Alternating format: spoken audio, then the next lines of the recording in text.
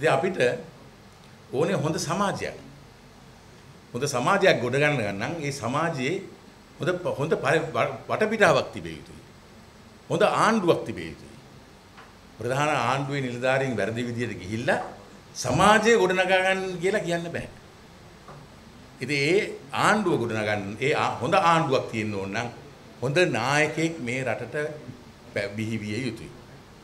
අපේ රටට ඔබින ඒ නායකයෝ කොච්චරපත් වුණත් අපේ රටේ මිනිස්සු අපේක්ෂා කරන දරුවෝ අපේක්ෂා කරන ආගමික නායකයන් අපේක්ෂා කරන ඒ අපි බලාපොරොත්තු වෙන නායකයා තමයි පස්වෙනි විධායක ජනාධිපති ගරු මහින්ද රාජපක්ෂ අතිගරු ජනාධිපතිතුමා කියන එක මම කියන්නේ.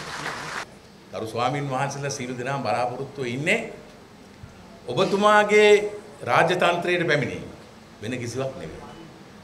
මොකද මිනිස්සු දන්නවා මේ රට හදන්න පුළුවන් වැටිලා තියෙන දෙයින් ගොඩනගන්න පුළුවන් එකම රාජ්‍ය නායකයා අපේ පස්වෙනි විජායක ජනාධිපති මහින්ද රාජපක්ෂ මැතිතුමා.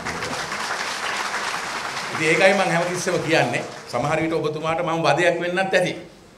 මම වදයක් වුණත් මට කරන්න දෙයක් නැහැ. ඔබතුමා ඉස්සරහ පිටදී මම කියන්නේ ඇත්ත.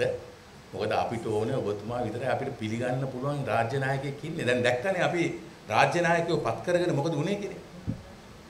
අද අපිට ජීවත් වෙන්න බෑනේ. අද රටේ ආර්ථිකය කොහොමද? ජාත්‍යන්තරය කොහොමද පිළිගන්නේ? රටේ මිනිස්සුන්ට ජීවත් වෙන්න පුළුවන්ද?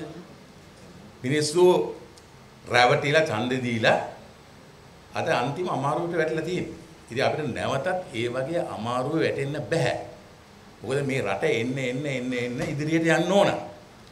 දැන් අපි ඔබතුමාගේ කාලෙට වැඩිය මම හිතන්නේ අවුරුදු 30ක් විතර පස්සට ගිහිල්ලා තියෙනවා.